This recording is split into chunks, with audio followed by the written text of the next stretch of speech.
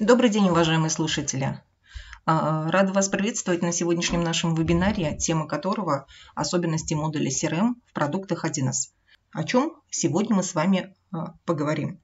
Рассмотрим, а, как у нас организовано CRM непосредственно в следующих решениях. Это ОНФ, управление небольшой фирмой, и, соответственно, управлении нашей фирмой и, соответственно, в управлении торговлей. ERP сегодня мы не будем рассматривать, э, но логика работы фактически одинакова. То есть это работа с карточками клиентов. Посмотрим, э, какие воронки продаж непосредственно в УНФ, какие у нас э, карточки и воронки продаж в CRM-системе. Но начнем мы сначала все это с вами непосредственно с системы э, ОНФ. А, так что а, немножко теории. Чем а, замечательно у нас ОНФ э, в части того, что имеет встроенную систему CRM. Есть возможность планировать звонки и встречи, также проводить анализ и воронку продаж, различные группировки использовать а, соответственно, управление менеджерами также все это организовано, и в том числе как и отслеживание оплат, так и отгрузок. И мы можем, соответственно, сравнить э, также работу наших менеджеров, э, посмотреть некую динамику. А, соответственно, э, достаточно оперативно в режиме одного окна мы можем анализировать, что происходит непосредственно с нашим заказом. А, в УНФ э, большая часть работы ведется через заказы. И, соответственно, есть возможность э, установки соответствующих статусов. Это мы сейчас с вами посмотрим. А, так, сейчас я сделаю демонстрацию экрана и перейдем непосредственно к просмотру. Итак, что у нас есть с вами а, хорошего такого в нашей программе УНФ? Начнем с карточки контактов. Карточка контактов, а, соответственно, она вот здесь, контакты. Все возможности CRM, они у нас расположены непосредственно в данном блоке CRM. А, вот карточки контактов. Так, немножечко окно не то открыла. Здесь прав поменьше, а, поскольку пользователь в демонстрационной базе Ирина Витальевна у нас является фактически менеджером. Поэтому несколько возможностей функциональные у нее ограничены. Перейду на администратора и посмотрим, как выглядит у нас карточки контактов. Вот у нас открывается непосредственно окно контактов. По сути, это наши клиенты. Здесь есть возможность поработать непосредственно с карточками клиентов. Начнем того, с того, что э, данные карточки эм, клиентов мы можем загрузить через кнопочку «Еще» и произвести загрузку данных из внешнего источника. Будь то это у нас Excel табличка, либо адресная книга Google. Вот. Здесь есть а, окно загрузки, и мы можем, соответственно, а, из ранее заполненного файла произвести загрузку, либо мы можем а, примеры данных для загрузки, соответственно, образцы формата создать, они у нас открываются, вот он нам приводит э, соответствующий образец, по которому мы проводим настройку. И заполняем поля либо выгружаем данные. И, соответственно, если у нас образец а, предоставлен в таком формате, мы смело загружаем наши данные в нашу систему и можем ими воспользоваться. Сейчас я не буду загружать ничего. То есть достаточно удоб, удобные форматы загрузки данных из Excel. И соответствующий помощник. Закрываю его пока. А, далее, что возможно сделать непосредственно с данными контактами? А, по данным контактам мы можем, а, соответственно, произвести различную настройку. Если мы видим вот такой значочек, это означает, что по данному контакту у нас с вами уже создан контрагент. А, различные выборки мы можем произвести и, соответственно, настроить сам список. Для этого нам будет а, достаточно нажать на кнопочку «Еще» а, и изменить форму изменить форму, и мы видим, что у нас есть возможность отобразить дополнительно к списку и другую информацию, которая есть в контактах. Соответственно, мы с вами по ссылке можем добавить поля, которые есть в привязке при необходимости. Это то, что касается работы с контактами. А, далее, если это у нас покупатели уже, клиенты, которые с нами работают, то мы можем также с ними поработать. То есть, по сути, это наши покупатели. Зайдем какую-нибудь из карточек покупателей и посмотрим, что у нас есть по данной карточке. Мы видим, что у нас есть а, сразу же информация о контакте, который привязан к данному контрагенту-покупателю, его контактная информация. При необходимости достаточно удобные кнопки добавления контактов. А, мы можем добавить и адрес, и телефон. Соответственно, наименование компании, следующее – это контактная информация по компании, информация о том, э, какой адрес доставки, который будет в последующем использоваться непосредственно в заказе клиента, и мы можем, а, соответственно, оформить доставку по данному адресу. Юридические данные. Видим, что достаточно удобный механизм а, нажатия кнопочек и перевода на тот или иной юридическую информацию, то есть это может быть физлицо, ИП, либо госорган и так далее. А что еще? Есть э, возможность эм, посмотреть непосредственно взаиморасчеты. Мы можем смотреть в различных разрезах, если, соответственно, поставили соответствующие флажки. Так, ну, соответственно, у нас здесь есть заполнение новых договоров и э, разнесение оплат. А обращаю внимание то, что интуитивно понятные есть э, подсказки, которыми мы можем воспользоваться и, соответственно, а, поработать э, с данной карточкой. Что еще есть, э, какая информация отображается?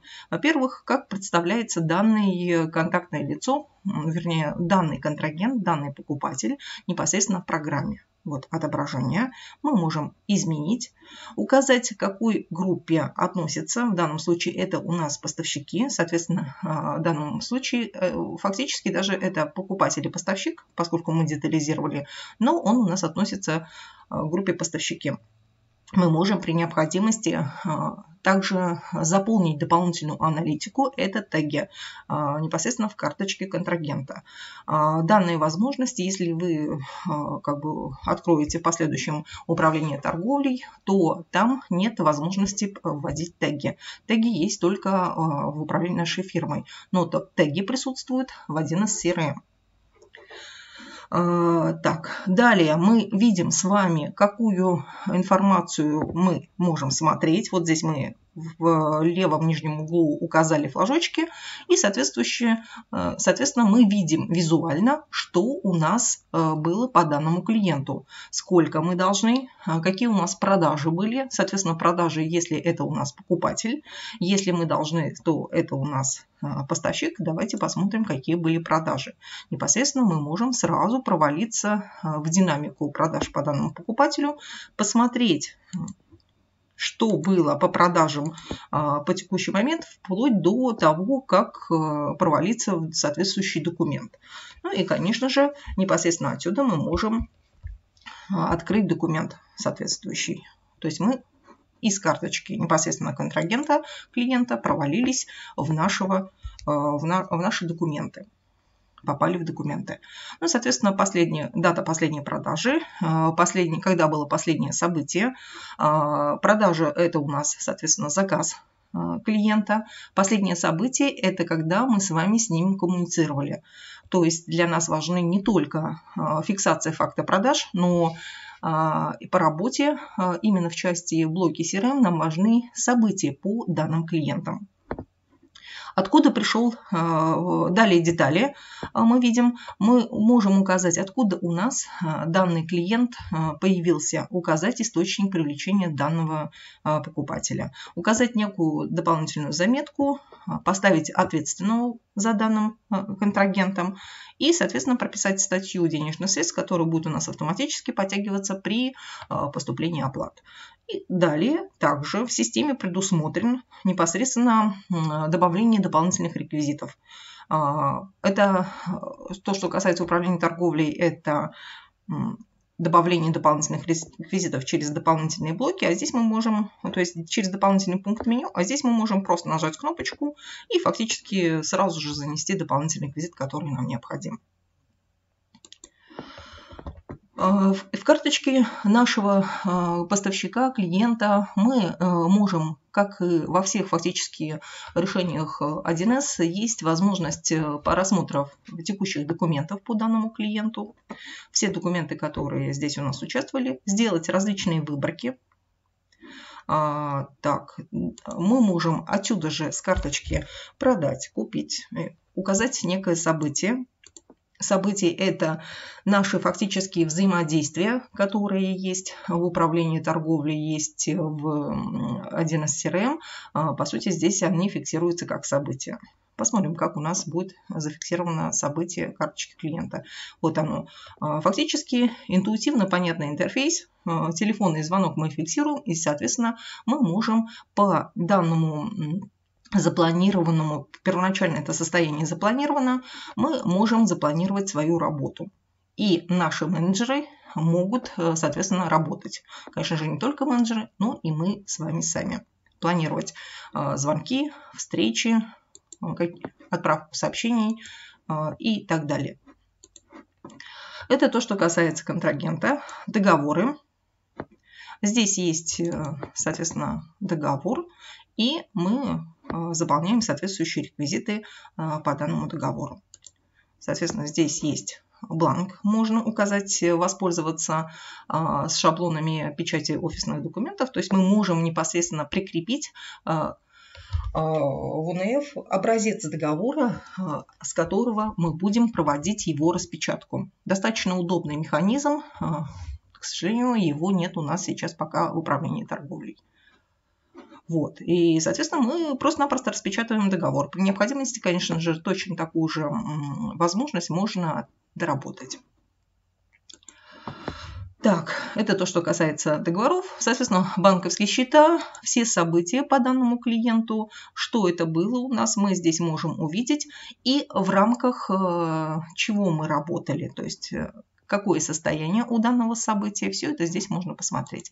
Какие контакты, то есть контактные лица, с которыми мы будем взаимодействовать в рамках данного э, клиента. Соответственно, если у нас есть какие-то файлы, они будут также здесь отображены. Отчеты по текущему клиенту. Достаточно удобно, можно сразу увидеть примерный формат того, как у нас будет выглядеть э, непосредственно сам отчет но а, при, для того, чтобы сформировать по текущему клиенту, нам необходимо, соответственно, будет нажать на соответствующий виджет. И по виджету мы увидим, что у нас формируется акт сверки. Опять же, используя стандартные механизмы самой 1С, мы можем произвести соответствующую настройку а, данных печатных форм. Мы можем сохранить файлик, а, открыть его в новом окне, отправить его сейчас, а, соответственно, еще произвести различные как бы настройки. Далее. То есть, э, есть, э, конечно же, и выполнение договоров обслуживания. Здесь у нас э, различные отчеты, продажи какие, по каким продуктам а, осуществляли. Здесь можно все увидеть виды цен поставщиков. Но если у нас э, наш э, покупатель, о, вернее, поставщик, э, клиент является, соответственно, поставщиком, то здесь также оно прикрепляется. А, по сути, мы в карточке управления торговлей увидим то же самое. Сейчас пройдемся по УНФ, но некоторые моменты я сейчас просто озвучу. Различные дисконтные карты, если они здесь есть. И, конечно же, система обсуждений по данному клиенту, можно с ним поработать, то есть по данному э, контрагенту. Так, это мы посмотрели с вами сейчас карточки наших э, клиентов и как можно с ними работать, какие отчеты, э, что есть вообще доступного непосредственно э, в программе э, по данной карточке. Далее, э, что э, есть еще такого интересного в данном окне? Мы можем отфильтровать по различным э, воспользоваться более 20 критериев отбора. Это у нас как источник привлечения, так и ответственный. Ну и, соответственно, конечно же, задать свой собственный отбор и получить соответствующую выборку по нашим клиентам. Вот. Это все через кнопочку «Еще». там соответствующие настройки. А, видим, что здесь есть и редактирование тегов, то есть мы можем сразу по данному клиенту, также через кнопочку «Еще», не заходя в саму карточку, осуществить как продажу, купить э, что-нибудь, э, купить у данного поставщика, занести события, то есть не проваливаясь в карточку. А, есть возможность указать, что данный поставщик у нас либо клиент является недействительным. Тоже мы можем здесь указать и сделать, чтобы у нас были действующие, а, недействительные а, соответствующие клиенты также отображены. Вот. Так, очень удобный механизм, то, что вот мы говорили с вами по поводу того, что у нас есть с вами Э,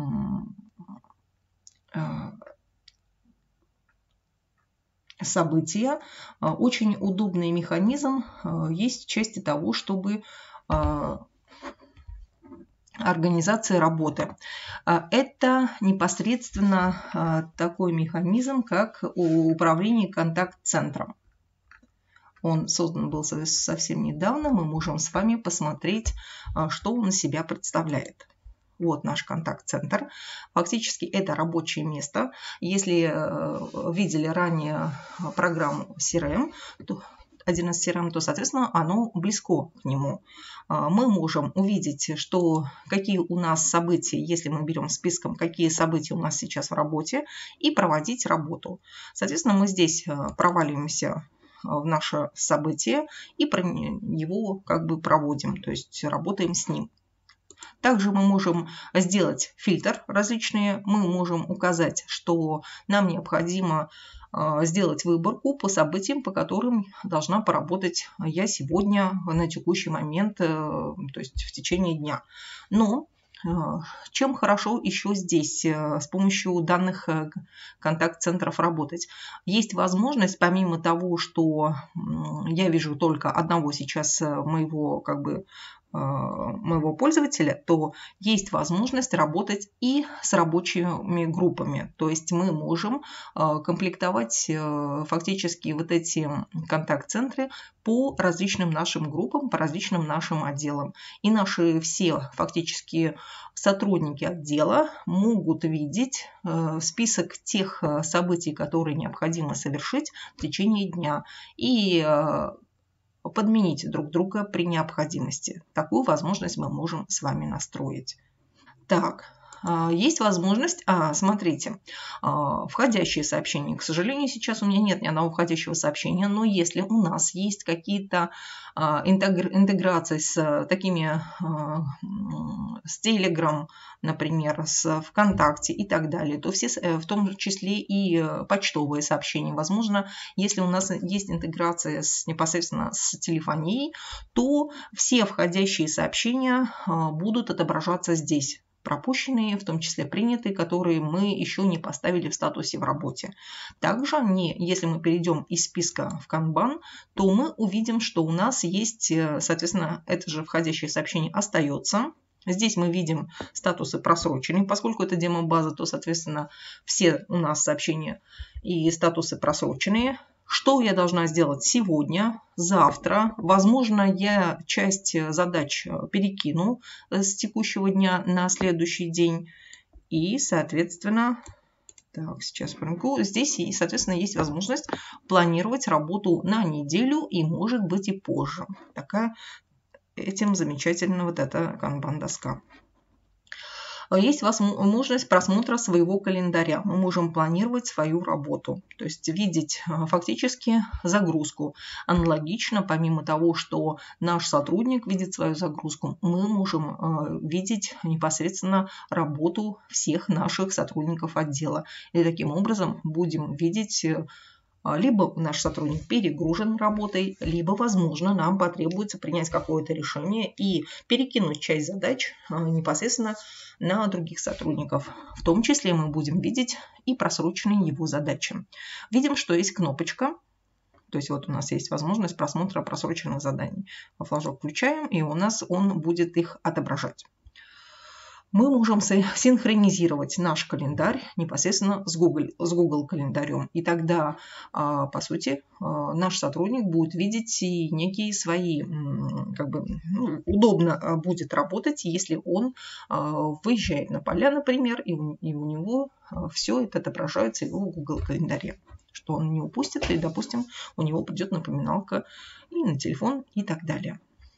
Здесь есть возможность э, видеть, какие у нас доски есть. То есть мы можем формировать командные доски. И, соответственно, это все у нас будет отображаться здесь. Все настройки достаточно интуитивно а, понятные и можно будет их настраивать. Это достаточно удобный механизм. А, то, что мы еще должны с вами а, поглядеть и хотелось бы поглядеть. Работа с лидами. Есть возможность работать с лидами. Лиды, как правило, у нас э, фактически не формируют, могут быть э, фактически проиграны. То есть мы можем его получить, но в работу он может у нас не уйти. И, соответственно, э, засорять нашу клиентскую базу не имеет смысла. Возможно, когда-то в последующем наш лид станет доступным и будет в работе. Так, давайте посмотрим. Сейчас на текущий момент, возможно, мелко видно, но мы сейчас увеличим с вами масштаб. Так. так где у меня кнопочка? Ой, не туда. Так, сейчас увеличу немножко масштаб и объясню, с чем связано то, что я сейчас э, его сделала крупнее, а до этого он у меня был мельче. Дело в том, что э, сейчас мы видим, что у нас лист э, сформирован непосредственно списком. Вот есть возможность видеть списком. А если мы нажмем на кнопочку Kanban, то фактически мы будем видеть, как у нас следы выглядят в Kanban доске. А, но, а, к сожалению, здесь пока масштабы и шрифты не очень удобные. То есть и вот пришлось поэтому масштаб уменьшить, чтобы было визуально видно, что здесь происходит. Вернусь к списку пока. А, мы видим наши лиды, мы можем их загрузить. Опять же, из наших excel файлов мы можем загрузить э, наши лиды, а, получить, опять же, примеры для загрузок и, соответственно, эту загрузку провести. То есть механизм фактически тот же самый, что и по загрузке наших контактов. Давайте посмотрим, что у нас а, будет при создании лида. Вот наш лид. А, в рамках данного лида могут быть несколько событий, те же самые переписки наши с клиентом, а, те же самые звонки клиенту. Если, допустим, мы сегодня и вчера позвонили, написали, но так и не дождались ответа, тогда мы с вами можем его зафиксировать как некачественный лид. Что мы а, можем внести в состояние лида? Во-первых, мы можем показать, что он у нас пока не отработан, когда поступил только что в работу. Состояние лида могут быть следующими. Э, это не отработан в работе. Давайте попробуем посмотрим, что означает. Здесь мы можем назначить различные цветовое оформление и, соответственно, прописать, э, какие... Ой, куда-то убежала. Какие статусы мы с вами можем э, лиду э, присвоить. Значит, это не обработано, в работе отправлено КП, назначена встреча.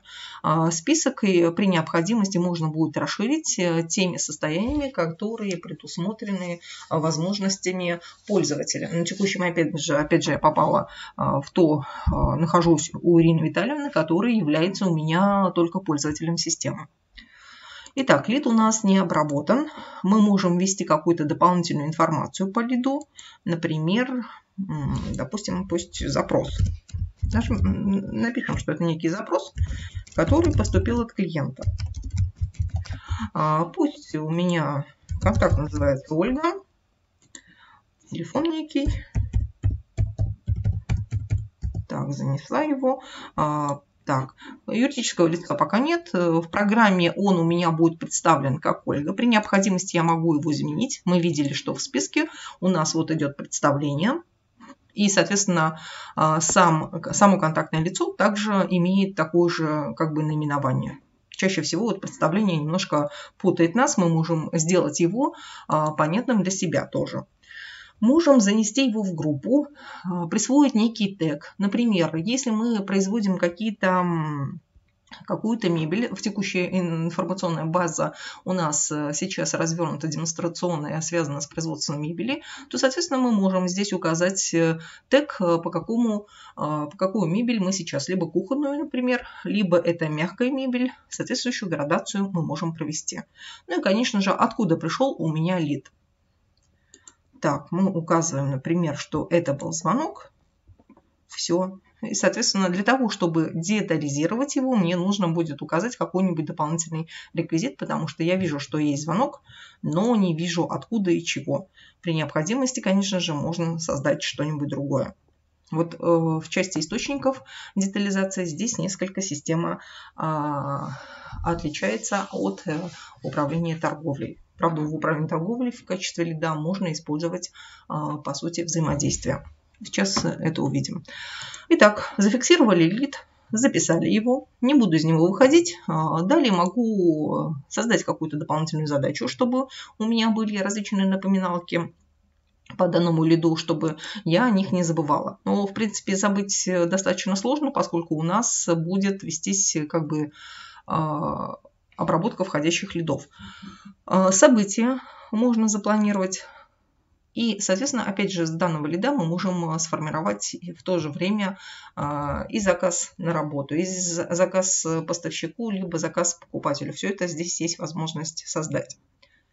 Так. Далее, после того, как мы его взяли в работу, соответственно, нам э, либо вот мы позвонили клиенту, зафиксировали событие, сейчас я просто его фиксировать не буду, а, поскольку мы ограничены во времени, а, то я могу его перевести в разные статусы.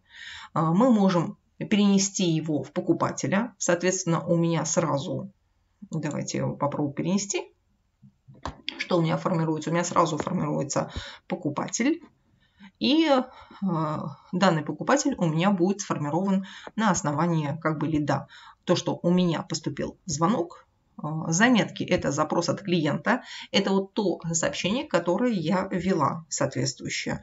Ну и, конечно же, при необходимости я дополняю соответствующую информацию. Если мне надо э, провести какие-то дополнительные манипуляции, то я могу с этой карточки, соответственно, провести то, о чем я говорила вам ранее.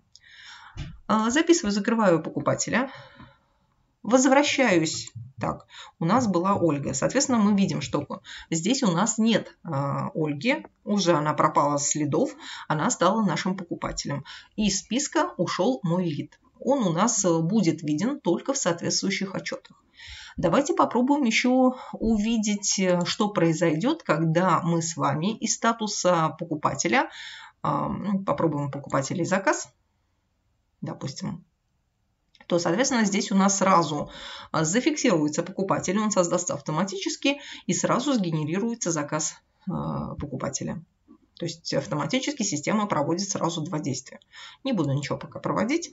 А теперь а, попробую сделать его не как бы некачественно. То есть он у меня ненужный фактически для меня лид. И здесь мне нужно указать, что с чем связано, почему у меня данный вид незавершенный, то есть не хороший, некачественный. Здесь мы можем, соответственно, указать причину. И, соответственно, после того, как мы с вами эти причины укажем, а, провести и посмотреть аналитику. Давайте выберем и устроили условия. Можно написать некий комментарий. То есть причины у нас могут быть э, несколько более условные, а детализация – это в комментариях. А, обращаю внимание, что есть возможность вернуть в работу некачественные лиды. Возможности возврата есть э, на этапе, когда мы этот лид с вами здесь видим. А, и э, через отчеты вы можете провалиться в список некачественных лидов и, соответственно, в любой момент вернуть его работу. По сути, лиды, которые даже некачественные, могут быть э, основанием для работы в последующем с клиентами. Сейчас я закрою его, запишу и закрою. Так, хорошо. Это то, что касается работы лидов. Так, Опять же, стандартно есть различные соответствующие выборки. А, мы при переходе с одного лида на другое видим наши контакты. Если подключена IP-телефония, нажимаем на трубочку и совершаем событие. Вот. Событие можно непосредственно отсюда формировать, чтобы не заходить непосредственно в лид. А, при необходимости, опять же, можно настроить э, табличную часть по лидам. Далее. А, у нас э, есть еще а, достаточно интересный механизм. И вообще, о чем хотела сказать сегодня, это воронка продаж. Давайте посмотрим воронку продаж, как она у нас выглядит э, в УНФ, управлении нашей фермой. Сейчас она сформируется. Э, мы видим, что у нас э, воронка продаж формируется по источникам привлечения, то есть соответствующее отображение. То есть все, что сейчас есть, поскольку никаких выборок нет, то здесь все сразу отображается. Откуда у нас пришли, что является источником привлечения сколько по факту пришло лидов, какова конверсия, сколько стало покупателями. Опять же, мы видим, какие, какая конверсия и сколько у нас было заказов. Соответственно, и по заказам тоже можем увидеть конверсию.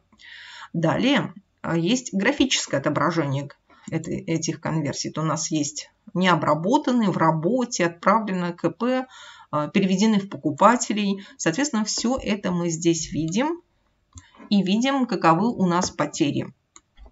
Если же у нас э, доведены были наши лиды до, соответственно, до продаж, то мы также будем видеть, что у нас ведется по лидам соответствующая работа. Вот, вот они у нас. И по трем из них у нас нет продаж и заказов. Соответственно, лиды у нас неэффективные. То есть мы будем видеть всю динамику здесь непосредственно в, этом, в этой воронке продаж так, сверну а, сейчас состояние. И далее мы видим, что у нас происходит с покупателями. Совершена продажа, либо не совершена, какую выручку и прибыль мы получили. Соответственно, понятное дело, что выручка сколько пришло, а прибыль это сколько мы там с расчетом, с учетом себестоимости, а, какова у нас прибыль составила. Все это визуально, это мы как раз и видим в системе. А, поскольку система позволяет проводить работу с наряд заказами, мы можем видеть аналитику и, соответственно, в разрезе заказ, заказ нарядов. А, в разрезе заказ покупателей также мы видим всю а, эту работу.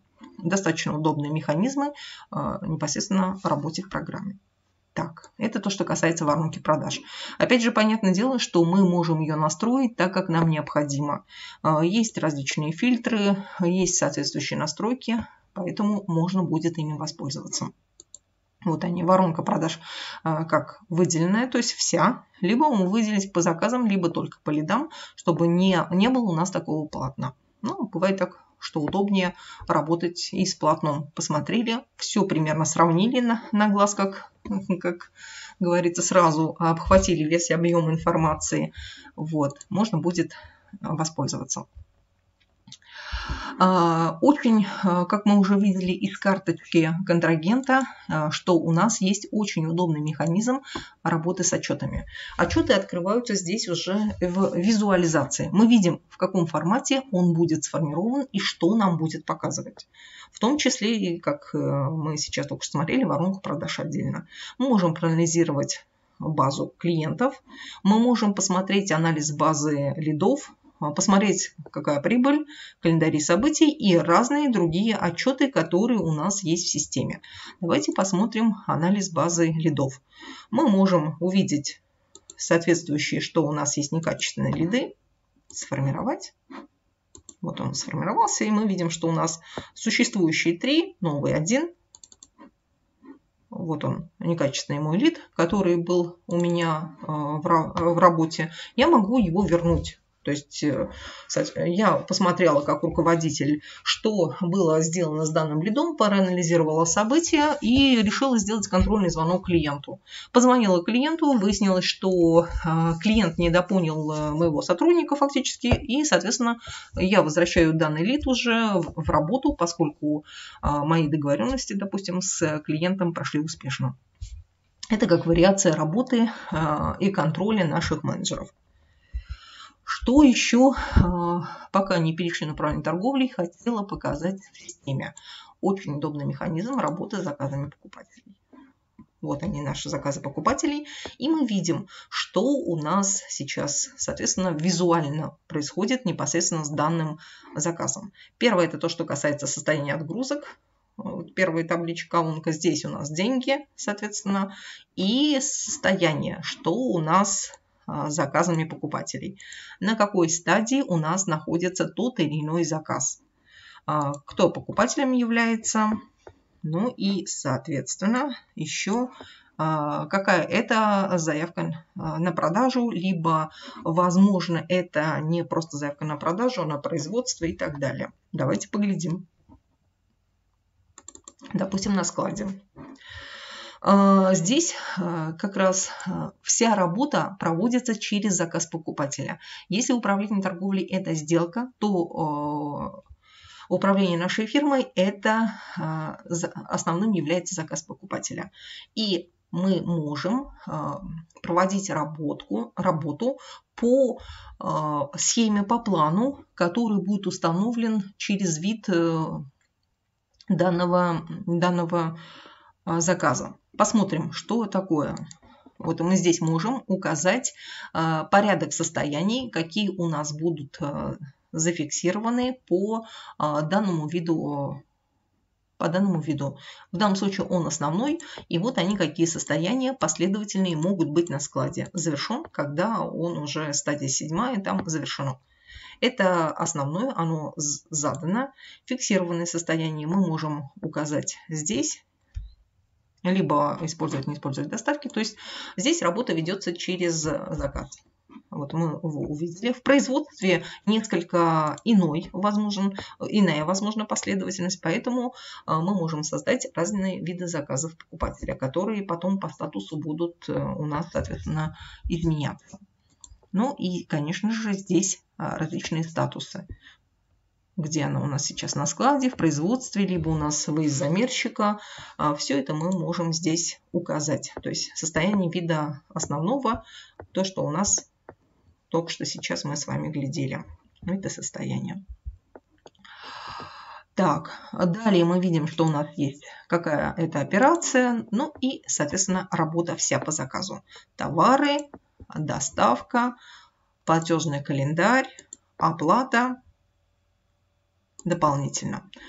Но заказы покупателей это фактически тематика а, другой как бы встречи, но и а, мы понимаем, что заказ покупателя это фактически сделка с нашим клиентом. И в рамках заказа покупателя мы в управлении нашей фирмой ведем с вами работу. И пока у нас заказ не закрыт, соответственно, мы с вами работаем с ним. Так, а теперь перейдем непосредственно к нашей Управление торговлей. Сейчас вернусь. Так, демонстрацию. И вот. Что же касается наших управлений торговлей ERP, то мы э, видим, что, э, соответственно, у нас все процессы продаж, они регулируются непосредственно через сделки с клиентом. Мы также можем смотреть, что у нас является незавершенным и смотреть, какие у нас клиенты либо являются у нас потенциальными, либо а, а, мы работаем с ними. Это все через сделки. Сейчас мы с вами посмотрим. Система позволяет проводить именно и имеет следующие возможности, которые вы сейчас видите на экране. Очень хороший инструментарий, который есть в управлении торговлей и ERP, это работа с претензиями. Ну и еще достаточно сильный инструментарий в части управления торговлей ERP – это работа со сложными продажами. Как-то работу со сложными продажами а, озвучивала, рассказывала о них на одних из встреч, которые у нас были ранее. Давайте сейчас перейдем просмотру, что же и как же, вернее, что же и как же, как у нас организовано CRM непосредственно в управлении торговлей. Так, вот наше управление торговлей. И э, работа ведется, опять же, в, в одноименной нашей в нашем блоке это CRM и маркетинг. Здесь мы можем вести различную работу в части того, что а, указываем э, каналы рекламных воздействий. Это у нас э, сеть выставок, это, например, сеть, э, та же работа сети магазинов с нами. А, если это рекламное воздействие, тип воздействия наше какое-то маркетинговое мероприятие, то, соответственно, мы это маркетинговое мероприятие можем зафиксировать в системе. И поскольку у наших маркетинговых мероприятий может быть несколько, то, соответственно, эти маркетинговые мероприятия мы можем в системе указать. Мы указываем а, плановые даты планового окончания наших мероприятий и, соответственно, э, фиксируем дату начала и дату окончания. Для какого сегмента клиентов и какого сегмента номенклатуры предназначено данное маркетинговое мероприятие. При этом э, сегменты могут быть разноуровневыми, то есть мы можем их компоновать совершенно на свой вид и вкус. Если же у нас распространяются полностью на всех клиентов, то, соответственно, сегмент мы не указываем. То есть сегменты э, мы можем здесь создавать. Давайте Давайте просто зайдем и посмотрим и увидим. Конечно, сейчас как бы галопом по Европе, но все равно. Есть возможность, помимо того, почему я открыла сейчас этот сегмент, а, есть возможность э, с помощью схемы компоновки данных создать э, сегмент. И если у нас мы сделаем разрешить редактировать, если мы нажмем на данную кнопочку, то увидите, что есть возможность организовать различную выборку, в том числе по тем же сегментам. То есть у нас может быть какой-то, э, мы можем организовать какой-то свой сегмент, в который будут входить другие сегменты, и мы их, их с вами скомпонуем.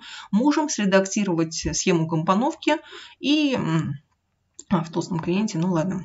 Нажимаем на эту кнопочку, и если мы владеем несколькими азами немного программирования, то мы можем, а, соответственно, а, данный сегмент настроить. Система достаточно гибкая, поэтому проводить маркетинговые мероприятия мы можем по различным сегментам. Аналогично это касается и сегмента номенклатуры. Те же самые настройки фактически, но для наших товаров.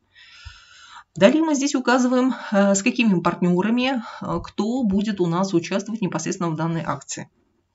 Их, это можно указать, в принципе, можно не указывать, но э, для дополнительных аналитик в последующем они нам будут необходимы. Опять же, в рамках данных маркетинговых мероприятий у нас могут быть некоторые взаимодействия с нашими клиентами, пользователями, а, поставщиками, потому что, возможно, мы что-то должны закупить, прежде чем начать проводить данные маркетинговые мероприятия. И тогда мы с вами должны указать а, то взаимодействие, которое у нас будет запланировано. Фактически это то же самое событие, а, телефонный звонок, встреча, но называется в данной системе оно взаимодействием.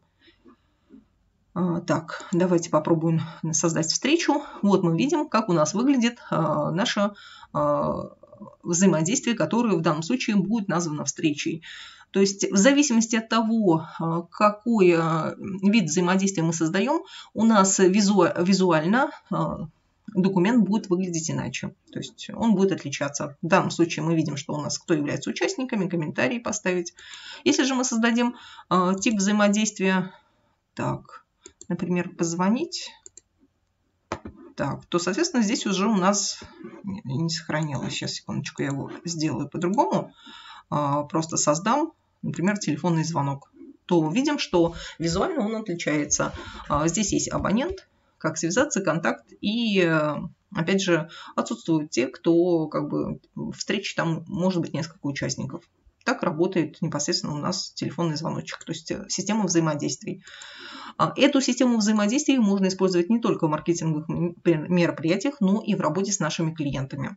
Акции таким образом мы как бы создали. А, непосредственно также мы можем план проекта создать, то есть у нас может быть некий план работы по маркетинговому мероприятию. И этот план мы заносим здесь руками в системе. Да, сейчас вот оно не автоматизировано, но вручную мы можем занести. Мы можем запланировать как бы то или иное сбор, например, работа с поставщиком, то есть нам необходимо сделать закупку, далее необходимо провести там, допустим, сформулировать тексты наших э, мероприятий, это тоже будет задачей. И, соответственно, у нас здесь появится некий пул задач и подзадач, с которыми мы будем работать. И опять же, в рамках этого плана проекта мы будем вручную вносить изменения, и мы можем создавать непосредственно задачи. И задачи эти у нас будут видны в данном списке. Вот. Мои заметки тоже, которые касаются непосредственно маркетингового мероприятия, могут быть здесь.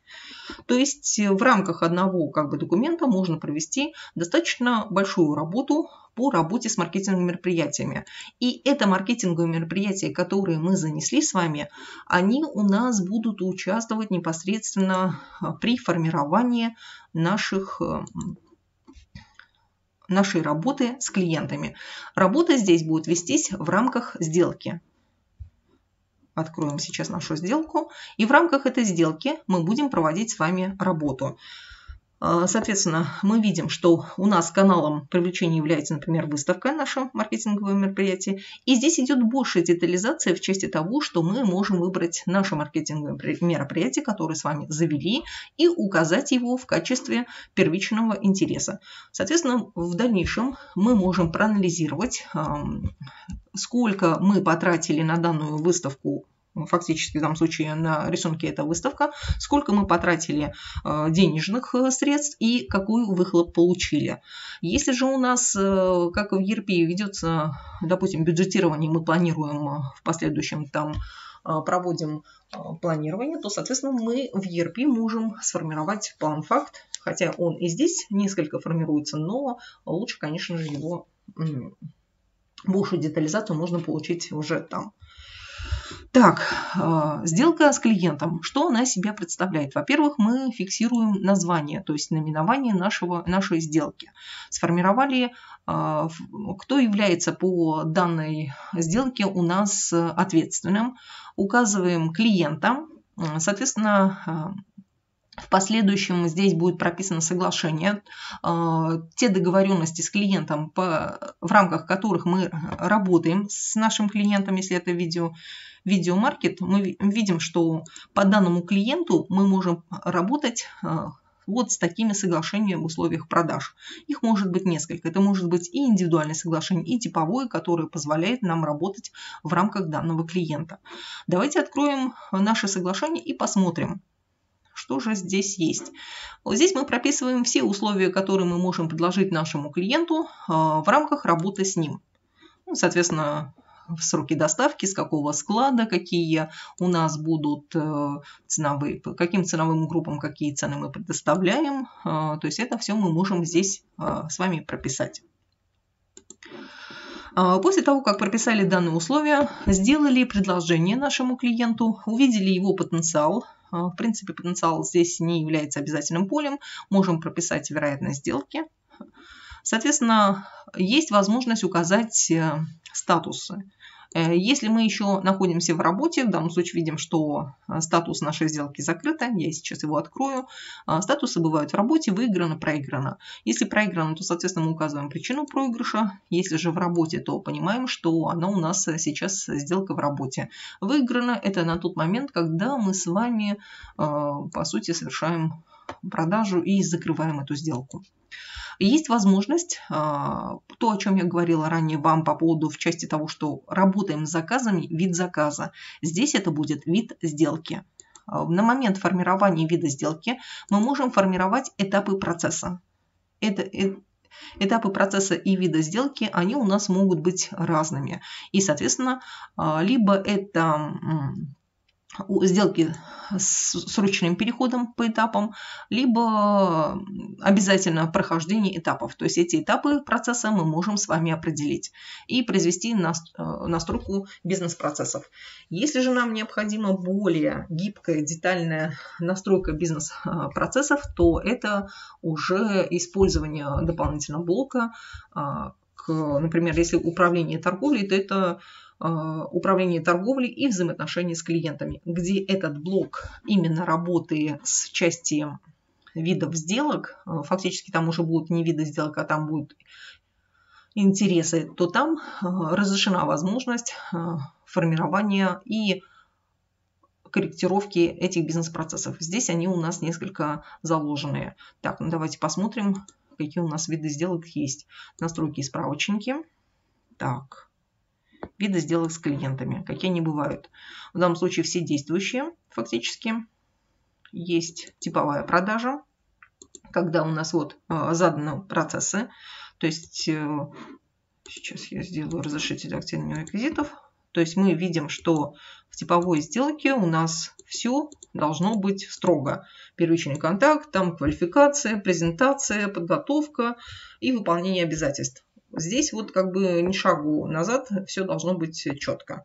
Если же у нас, так, например, возьмем э, сделки с ручным переходом по этапам, то, соответственно, здесь мы можем их э, квалифицировать здесь. Соответственно, мы можем их видеть, э, менять есть непроцессные сделки, когда э, совершенно процессов таких не будет, что на каком этапе мы находимся, мы просто-напросто задали э, с вами э, некую сделку и работаем по этой сделке. Так. Единственное, что в данной работе с данными сделками, что не совсем бывает нам удобно, это с чем, может быть, мы столкнемся, то, что вот у нас вот наш вид сделки, мы можем настроить, на каком этапе мы находимся, и не, не будет нашей э, привычной канбан-доски, которая есть э, в CRM-системе. Здесь мы работаем в основном со списком. Есть, конечно же, возможность выборки, э, можно группировать, но работа идет со списком.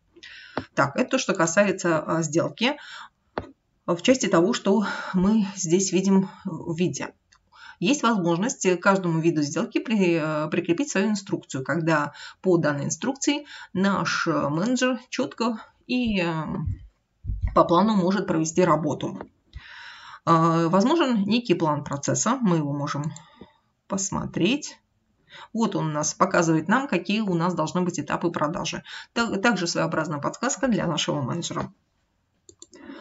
А, кто является участником а, данной сделки. То есть здесь возможно, что и наши конкуренты также принимают участие. То есть мы знаем, что по данной сделке с данным клиентом работают и ряд э, наших э, партнеров. Первичный спрос – это то, что клиент у нас запросил. Обращу внимание сейчас. В виде сделки у нас есть э, возможность, так, по-моему, не здесь, да, вот здесь именно вот для этого вида сделки есть возможность э, фиксировать первичный спрос. И если вот этот флаг стоит, то, соответственно, у нас на сделке будет доступен эм, первичный спрос. И тогда мы здесь э, обращу еще внимание второе. Здесь мы прописываем описание потребностей. Здесь мы не можем выбрать товарные позиции, которые у нас будут э, как, то, что как бы были заявлены клиентом. Здесь мы прописываем это руками, прописываем какая сумма. И опять же, процент удовлетворения данного клиента мы все это заносим руками. В последующем мы это анализируем в рамках того, что первичный спрос был на такое-то количество, а мы не смогли, допустим, оказать эм, а, причину неудовлетворения, с чем связано, вот мы можем здесь убрать выбрать, вернее. То есть у нас будет, например, даже процент 20, а с чем связано то, что э, остальные не смогли обеспечить, мы можем здесь указать причину. И в дальнейшем это же, опять же, будет наша дополнительная аналитика. А в рамках сделки мы можем создать, опять же, заказ клиента, сформировать, сформировать коммерческое предложение нашему клиенту, и это коммерческое предложение а, соответственно, отправить непосредственно нашему а, клиенту. Вот оно а, в рамках документов по сделке. А здесь, так, сейчас я период укажу, очищу период. Так, нет, он все-таки не позволяет, секундочку. Скорее всего, здесь более ранние документы были. Так, вот а, коммерческое предложение, которое мы отправляли нашему а, клиенту Э, видим, что оно здесь у нас указано. Мы здесь задаем именно номенклатуры. Э, если есть необходимость характеристики, указываем вид цены. Условия поставки здесь у нас определяются. Э, до какого действует наше предложение, какая операция, там налогообложение, возможно, дополнительные какие-то условия, что, например, аванс там до такого-то числа, условия самовывоза, информация для покупателя некая, И дополнительно мы здесь э, ставим статус э, нашего предложения, либо это черновик. Если же нам необходима система согласования, то мы пока ставим статус не согласованно. Когда прошли стадию согласования, то, соответственно, у нас статус будет действует. Ну и кто отвечает за данного, э, кто является менеджером и кто является контактным лицом. А далее мы можем распечатать коммерческое предложение либо со скидками, либо без скидок. И на основании, вот, когда уже э, наше коммерческое предложение уже э, утверждено. Клиент говорит, подтвержден, подтвердил данное предложение, что да, я согласен с ним, готов с вами поработать, то мы, соответственно, с вами э, выставляем э, на основании него, формируем заказ клиента. И далее уже проводим стандартную работу с данным заказом клиента. Опять же, Помимо того, что мы с вами ведем работу с данным клиентом в части документов, которые фиксируются в системе, таких как коммерческое предложение, либо э, заказ клиента, то не забываем, что есть у нас система взаимодействий, когда мы должны э, желательно фиксировать наши договоренности непосредственно э, в данном взаимодействии. Чего у нас, к сожалению, не любят делать наши менеджеры – это фиксировать наши договоренности. В итоге а, даже тому самому нашему крупному покупателю, крупному клиенту мы можем а, что-то упустить. То есть мы договорились, например, о том, что э, я подготовлю коммерческое предложение, например, сегодня вечером, но не успеваю. И по тем взаимодействиям я должна как бы предупредить клиента, что да, не успею. И в этот момент наш руководитель э, как бы должен отследить, что да, вот у меня должно быть взаимодействие такое-то, я должна отправить коммерческое предложение к такому-то числу, не успеваю и принять действие, особенно по крупным клиентам, по крупным сделкам. Поэтому фиксация небольших вот таких договоренностей очень важна. Пусть это будет не полностью как бы мы пишем э, темы, э, зададим некую, некую тематику, то есть у нас темы будут э, заданы э, по определенному, например, механизму. Соответственно, мы описываем кратко, что о чем договорились. Не надо там прописывать прям полностью дословно, но достаточно тех э, договоренностей, которые у нас были. Если же это было какое-то взаимодействие, и мы, э, допустим, пообщались в WhatsApp, в Viber или других мессенджерах, то, соответственно, мы просто можем скопировать оттуда и хотя бы нам, как участникам последующим для разбора а, различных ситуаций, а, будет этого достаточно. Но если, конечно же, у нас вот эти а, общения в мессенджеры не, при, не интегрированы в нашу систему. И вот эта дополнительная интеграция с мессенджерами и другими системами позволяет нам фиксировать текущие взаимодействия уже непосредственно автоматически. Не приходится ничего копировать и вставлять. В этом есть некий плюс. Так, ну, Конечно же, тогда для того, чтобы эта интеграция была проведена как бы а, без различных доработок возможных, то нам лучше, конечно же, если взять управление торговлей, то дополнительно перейти на управление торговлей, взаимоотношения с клиентами. Да, там это, эти взаимодействия автоматизированы. Там есть э, то, что я сегодня показывала о, в УНФ, есть канбан-доска, ну и другие плюшки. А, как же выглядит здесь? А, у нас сейчас с вами а, так, отчет, воронка продаж. Секундочку. Мы сейчас с вами посмотрим воронку продаж, как она здесь выглядит. И мы немножечко по... Просто некое отличие покажу, потому что оно здесь, она отличается. Ну, соответственно, для того, чтобы правильно выбрать ту или иную систему, которая вам было бы удобно, вот она, воронка продаж, как она здесь выглядит? Потенциальные суммы сделок. И вот она. Да, мы видим так. Такая дополнительная аналитика. Ну, есть еще плюс дополнительные другие отчеты, по которым можно будет поработать. Это а, прибыль по сделкам, организация, вероятностный прогноз. Все это можно посмотреть. Однако для того, чтобы правильно работать с системой, Сейчас включу демонстрацию экрана, вернемся к нашим слайдам. Вам необходимо будет выбрать систему, э, в которой э, чтобы правильно выбрать систему, необходимо определиться с тем, для чего вам нужна система. И пока вы не определитесь правильно, какую, э, для чего вам нужна система, вы, может быть, не раз столкнетесь с тем, что вы уже купили продукт, но оно неудобно для применения к бизнес-процессам именно для вашего предприятия. Возможно, что менеджеры будут против, с этим тоже не раз столкнетесь.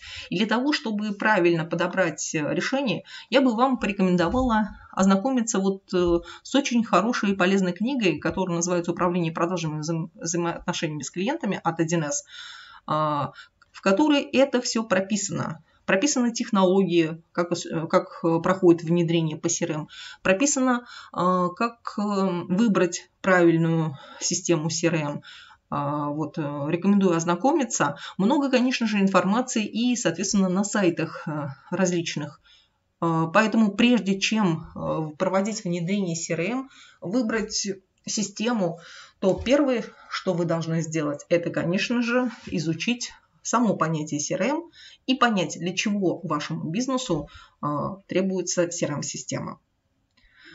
К сожалению, мы с вами исчерпали наше как бы выделенное нам время. Прошу прощения, что немножечко не уложилось. Но если у вас будут вопросы, то вы можете их задать нашим менеджерам. Я благодарю вас за внимание. А, пишите нам через наших менеджеров. Готова буду ответить на ваши вопросы. Еще раз благодарю за внимание и до новых встреч!